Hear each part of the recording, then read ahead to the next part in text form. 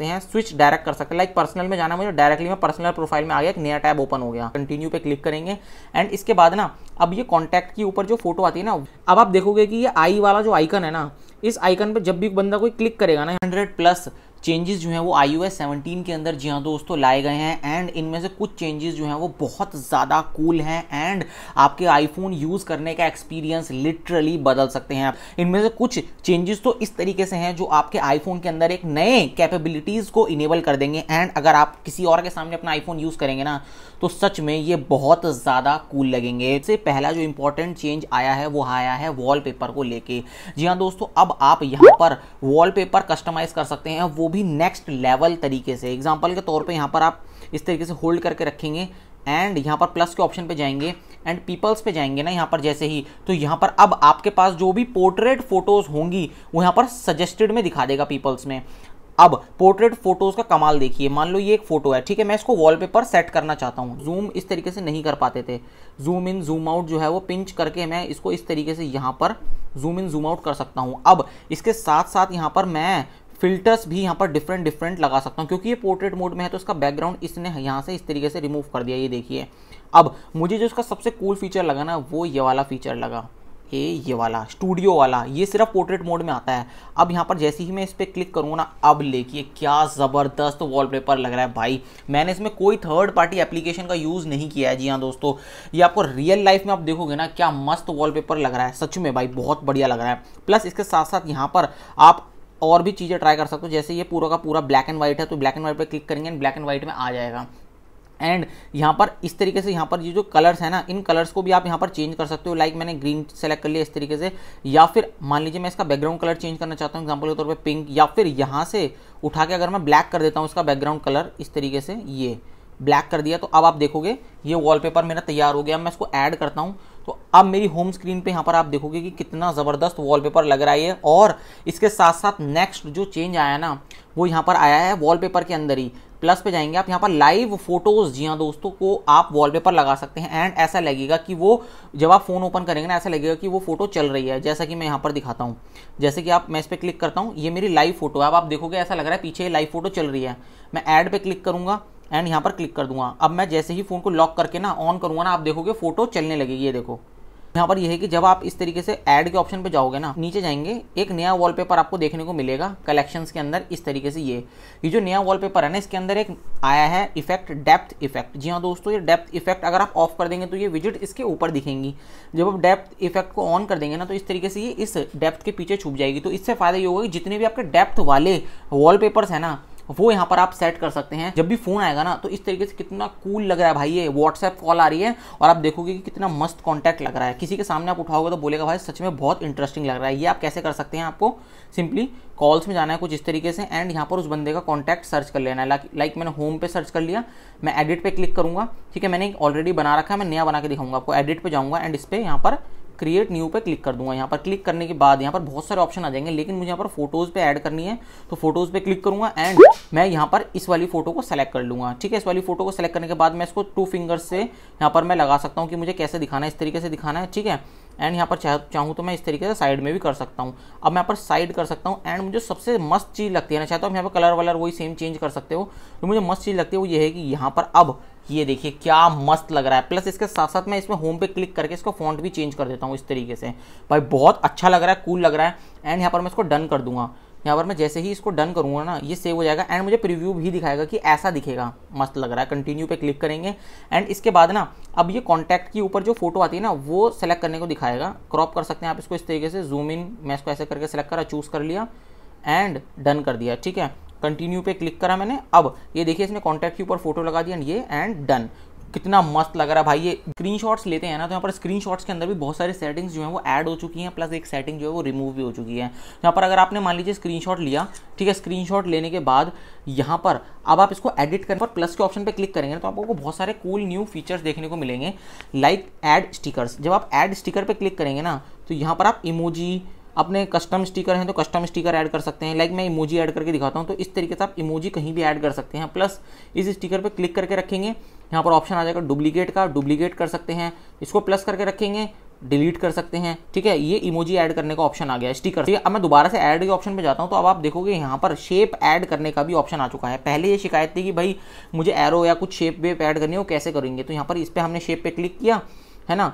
अब यहाँ पर इस शेप का यहाँ पर आप इसको ऐड कर सकते हैं प्लस इसको कलर भी कर सकते हैं। लाइक मैं इसको कलर कर देता हूँ ये इस टाइप में। अब आप देखोगे कि ये शेप जो है वो इसमें आ चुकी है। यहाँ पर देखोगे कि ओपेसिटी का भी एक नया फीचर आ चुका है। मतलब कि अगर स्क्रीनशॉट में सिर्फ़ ये इमोजी के अलावा अगर आप ये इस तरीके से इसकी स्क्रीनशॉट की ओपेसिटी भी चेंज कर सकते हैं। का मन इससे भी नहीं भरता है ना? तो आप यहाँ पर अपने मन पसंद के स्टिकर्स जी हाँ दोस्तों क्रिएट करके लगा सकते हैं। मान लीजिए प्लस ऑप्शन पे जाऊँगा स्टिकर पे जाऊँगा एंड यहाँ यहाँ पर जाऊँगा इस वाले पे। एंड ऐड के बटन पे क्लिक करूँगा। एंड यहाँ पर मैं अपने मन पसंद के स्टिकर जी हाँ दोस्तों बना सकता हूँ। जैसे कि मान लो मैं ये वाली फ़ोटो सेलेक्ट करता हूँ। ठीक है? ऐड स्टिकर पे क्लिक करूँगा। तो ये देखिए इसने ऑटोमेटिकली स्टिकर बना दिया इस चीज़ का। कितना मस्त लग रहा है भाई ये। एक इंपॉर्टेंट चीज़ जो रिमूव कर दी गई है। होपफुली वो नेक्स्ट अपडेट में आ जाए। वो ये है कि यहाँ पर अब आपको मैग्नीफाइंग ग्लास वाला ऑप्शन नहीं मिलेगा। फ़ोटोज़ को लेके भी कुछ इंपॉर्टेंट चेंजेस आए हैं यहाँ पर तो फ़ोटोज़ में यहाँ पर अब आप टू फिंगर से, जी हाँ दोस्तों जूम कर सकते हैं कुछ इस तरीके से एंड इंस्टेंटली क्रॉप कर सकते हैं। जी हाँ दोस्तों डन पे क्लिक करेंगे एंड ये पिक यहीं पर ही क्रॉप हो जाएगी। इसके साथ साथ जो नेक्स्ट चेंज आया, वो जूम किया आपने। अब यहाँ पर क्रॉप का ऑप्शन आ जाएगा, ये रहा। एंड इसको होल्ड करके रखेंगे ना, अब यहाँ पर आप के पास बहुत सारे ऑप्शन आ गए कि ओरिजिनल में क्रॉप करना चाहते हैं।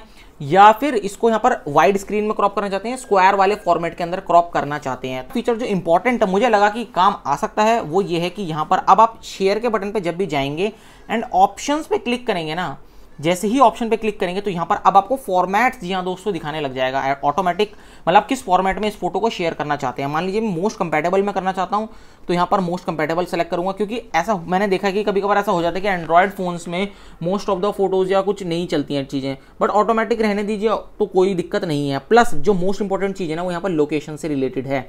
अगर आप इस फ़ोटो की लोकेशन ऑफ़ कर देंगे ना तो मतलब क्या होता है कि आईफोन में अगर आप एयर ड्रॉप करते हैं ना किसी को फ़ोटो तो उसकी एग्जैक्ट लोकेशन भी उस फ़ोटो की अगर ऑन होती है तो वो भी चली जाती है। तो यहाँ पर लोकेशन ऑफ़ कर सकते हैं डन कर सकते हैं। अब यहाँ पर लोकेशन इंक्लूड नहीं होगी शेयर करते टाइम यहाँ पर आप देख सकते हैं। दिखा देता हूँ आपको, मैं इसको इस तरीके से प्रेस करके रखूँगा एंड यहाँ पर ऐड टू स्टिकर का ऑप्शन आ चुका है।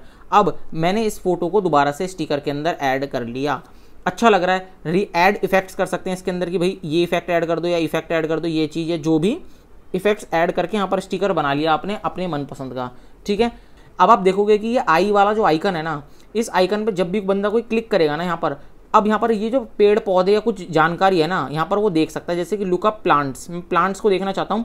अब ये मुझे आसपास के जो ये निकल रहे हैं ना पेड़, ये मुझे बता देगा कि ये जानकारी देगा इस पर्टिकुलर प्लांट्स के बारे में कि क्या है, क्या नहीं है। यहीं पर ही विकीपीडिया खोल के बता दो आप इस फ़ोटो को एडिट करने जाएँगे ना कुछ इस तरीके से एंड यहाँ पर जब आप थ्री डॉट्स पे क्लिक करेंगे ठीक है? अब आप यहाँ पर जब पेंसिल वाले आइकन पे क्लिक करेंगे, ठीक है? पेंसिल वाले आइकन पे क्लिक करने के बाद यहाँ पर वही सेम यहाँ पर आप सारे फीचर्स ऐड कर सकते हैं जो आपने स्क्रीनशॉट एडिट में करे थे। तो ये भी बहुत अच्छा फीचर लगा कि आप शेप्स को एडिट कर सकते हैं। एग्ज़ाम्पल के तौर पर मैं यहाँ पर एरो डालता हूँ। इस तरीके से एरो डाला मैंने और यहाँ पर इसकी मैंने बॉर्डर डाल दी है जी वाइट ठीक है बॉर्डर वाइट डाल दिया कलर मैंने डाल दिया इसका जी ब्लैक इस तरीके से यहाँ पर ये मेरा एक एरो बन गया, मैं इसको कहीं भी उठा के इस तरीके से लगा सकता हूँ। ये वही वाला फीचर आ गया सारा।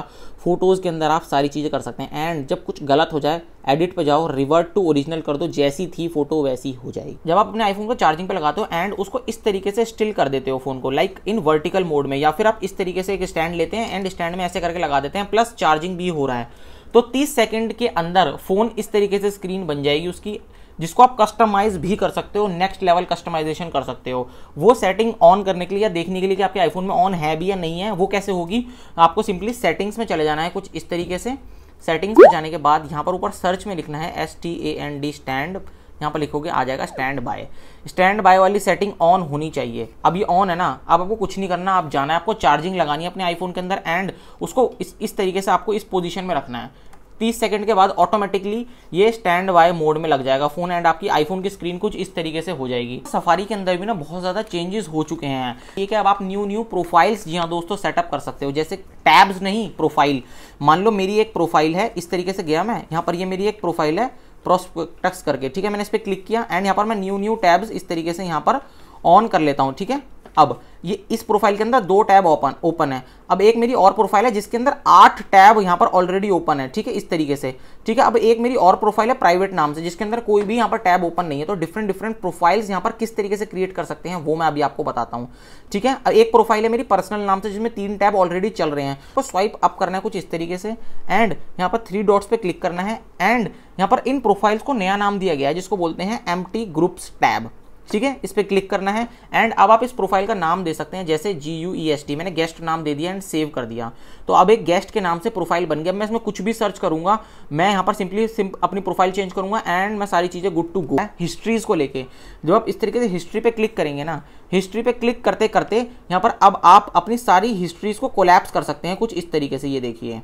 मैंने इसको ऊपर किया एंड यहाँ पर कोलैप्स करके मैं अपनी सारी पर्टिकुलर डे की डे इवनिंग की सारी हिस्ट्रीज देख सकता हूँ कि मुझे किसी भी तारीख की हिस्ट्री पे जाना होगा। मान लो मैं 16 सितंबर की हिस्ट्री पे जाता हूँ एंड मैं यहाँ पर क्लिक कर देता हूँ, ठीक है? प्लस इसके साथ साथ मान लो मुझे इस दिन की हिस्ट्री डिलीट करनी है तो मैं इस तरीके से जाऊँगा एंड डिलीट कर दूँगा। तो ये भी एक अच्छा फीचर लगा अपनी हिस्ट्रीज को मैनेज करने का।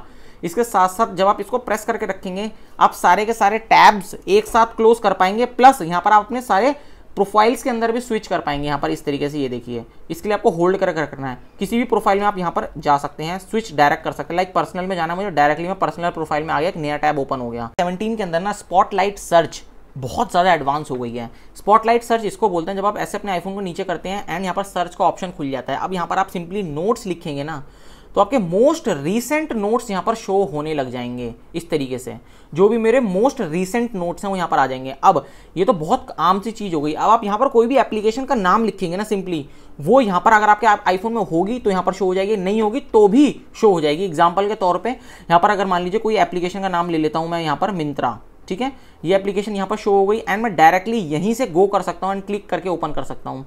अब यहाँ से अगर वो एप्लीकेशन डाउनलोड नहीं है आपके फ़ोन में, वो भी सर्च कर सकते हैं। कि आपको कोई भी आईफोन की सेटिंग के अंदर जाना है ना डायरेक्ट स्पॉटलाइट सर्च में सर्च करना है। जैसे मैंने वाईफाई लिखा तो वाईफाई की सेटिंग ओपन हो जाएगी यहाँ पर इस तरीके से। मान लीजिए मैंने यहाँ पर लिखा सेल्यूलर तो यहाँ पर सेल्यूलर डेटा की सेल्यूलर डेटा का यहाँ पर जितनी भी सेटिंग्स हैं, यहाँ पर इस तरीके से आ जाएँगे। तो यहाँ पर मैं डायरेक्टली सेल्यूलर डेटा की सेटिंग्स में जा सकता हूँ। प्लस इसके साथ साथ मैं सेटिंग में लिखता हूँ एक्सेसिबिलिटी यहाँ पर एक्सेसिबिलिटी में डायरेक्ट जा सकता हूँ। तो ये भी एक काम का फीचर होगा जो कि स्पॉटलाइट सर्च को एडवांस बना देता है। भाई, ये अगर ट्रिक्स आपको अच्छी लगी है ना तो अब आने वाली वीडियोस में मैं इतनी ज़बरदस्त ट्रिक्स लाने वाला हूँ ना तो गाइज़ ज़रूर से चैनल को सब्सक्राइब कर लेना। तो see you soon in next video